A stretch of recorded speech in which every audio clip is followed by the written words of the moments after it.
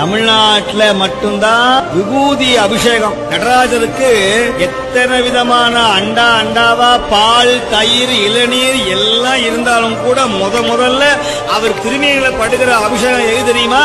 இந்த பஸ்பமாகிய திருநீர் தான் முதல் அபிஷேகம். மயான சாம்பல். இறந்தவருடைய பிணச்சாம்பலை எடுத்து நடு நிசியில ஒரு மணிக்கு மேல அதை கொண்டு வந்து காசியிலையும் உஜ்ஜயினி என்கிற மகாலேஸ்வரருடைய ஆலயத்துல ஒரு பெரிய பொட்டலமா கட்டி சுவாமி மேல அப்படியே பவுடர் அடிக்கிற மாதிரி தட்டுவாங்க அப்படி மேல.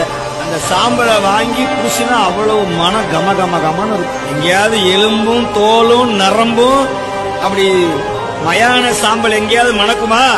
அங்க வாங்கி பூசி பாருங்க. ஏன் தெரியுமா? பெருமான் மேல பட்டு வர்றதுனால அந்த மயான சாம்பல் திருநீராக மாறிய அற்புதம் சைவ சமயத்துல இருக்கு. வாங்கி பூசி பாருங்க. எத்தனை துன்பம் வந்தாலும் எவ்வளவு கண் திருஷ்டி பிள்ளி சூனியம் பேய் பசாசு அடல் பாம்பு பூதம் பயம். இது வந்தாலும் ஒரு சித்திகை எடுத்து ஆளவாயான பெருமானுடைய பஞ்சாயத்துல சொல்லி பூசினீங்கன்னா உங்களுக்கு பக்கத்திலேயே வீரபத்திரரும் காலபேரரும் துறையா நிற்பாங்க